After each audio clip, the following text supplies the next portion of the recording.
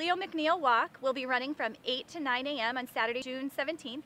It's going to be a 1.1 mile walk loop through the scenic campus that we have here, and we're going to do it two times.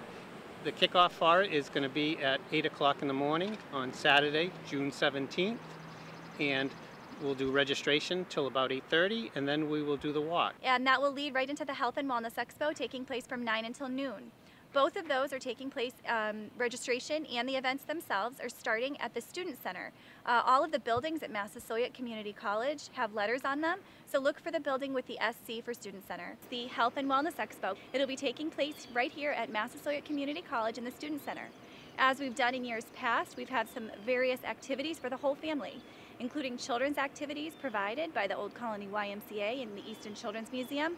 We'll have multiple screenings provided by Signature Healthcare and the Brockton VNA, a vendor area, um, and lots of just fun activities for the whole family, including healthy cooking demonstrations provided by the chefs from Signature Healthcare.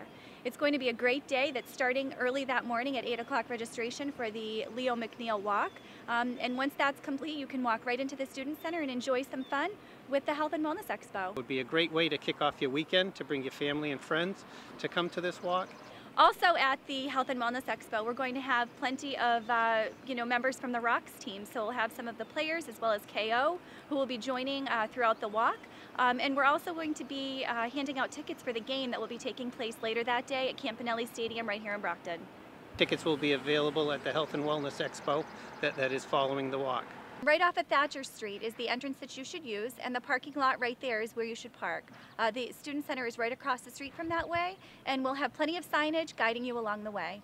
We hope to see you on the 17th.